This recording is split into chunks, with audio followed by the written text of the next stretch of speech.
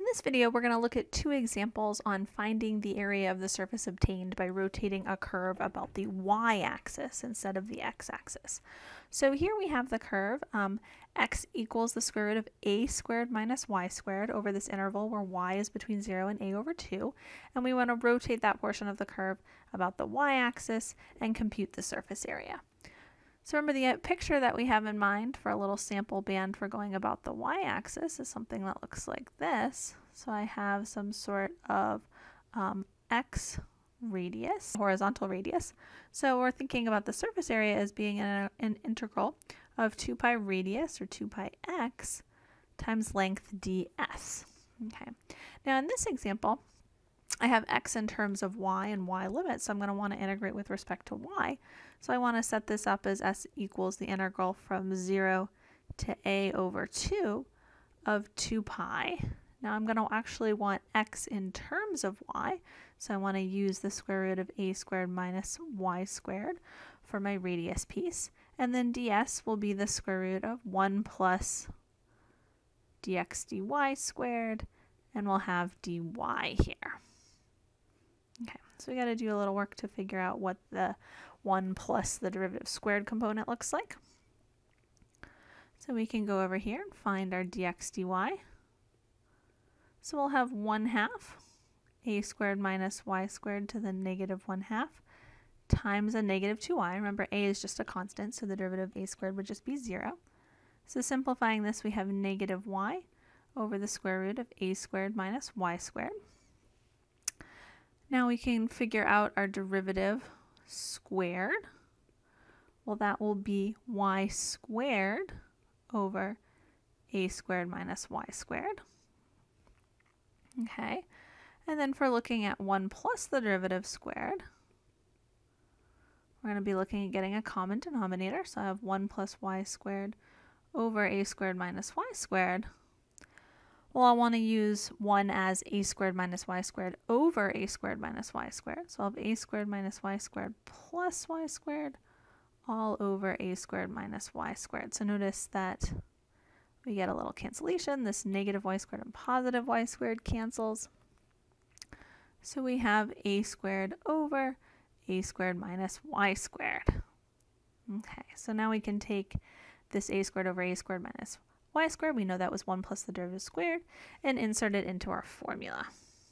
Okay, so we've got 0 to a over 2, 2 pi, the square root of a squared minus y squared, and then we've got our square root of a squared all over a squared minus y squared. Okay. So we're going to see this is going to work out similarly to one of our earlier examples where I'm going to get some cancellation. So I have the square root of a squared minus y squared. When I take the square root of um, numerator over square root of denominator, well, the square root of a squared is going to be a, because we know that a is always positive here, so it won't be just the absolute value of a, but we can say we know that that's a. And this will be all over the square root of a squared minus y squared. So we get nice cancellation here. These square roots cancel. So we have 2 pi a, that's all a constant 2, the integral from 0 to a over 2 dy. So we're just integrating 1 there. Okay. So I'll have 2 pi ay evaluated from 0 to a over 2, which gives us 2 pi a a over 2 minus 0. Okay, so I see that this comes out to just pi a squared.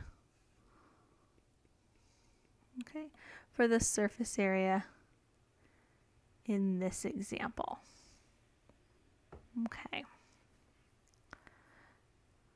Just to remind ourselves what we were doing there, we were doing um, a rotation about the y-axis. We had to have an x type radius, but we put x in terms of y here because we wanted to integrate with respect to y.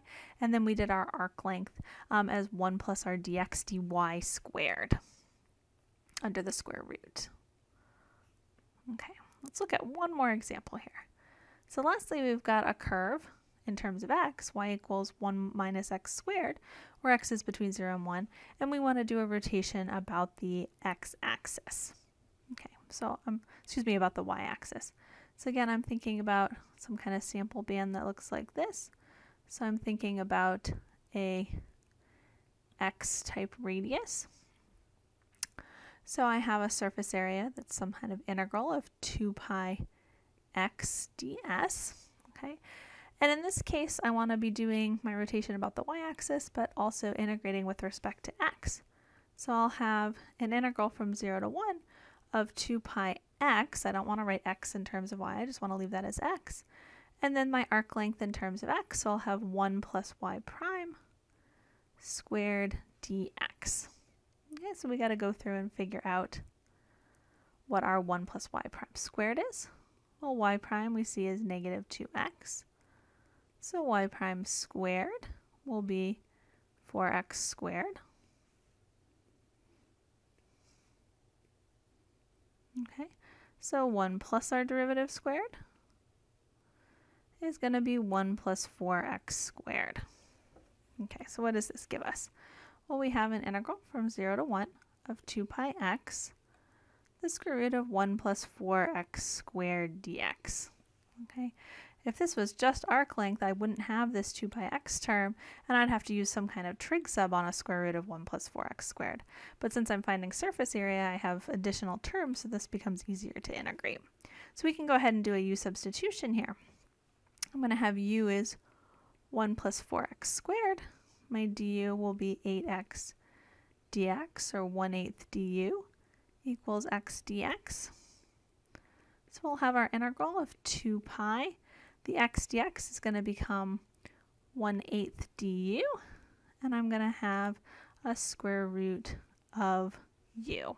So this x dx part is becoming my 1 8th du. I have the 2 pi, and then I have my square root here becoming the square root of u. So what about the u limits? Reminding ourselves we need those u limits. We don't um, want to still have the limits in terms of x because now I have the du. So when x is 0, u will be 1. When x is 1, u will be 5. Okay, so now that we have this in terms of u limits, we don't have to go back to x. I can simplify this a little bit. It Looks like I have pi over 4 for my constant I can pull out in front. This integral from 1 to 5, I've got u to the 1 half du.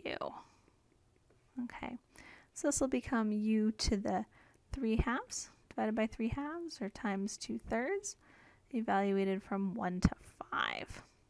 Okay, so it looks like this is going to be pi over 6. And we'll have 5 to the 3 halves minus 1. There's not much we can do to simplify that. So this would just be our final answer for the surface area in this case.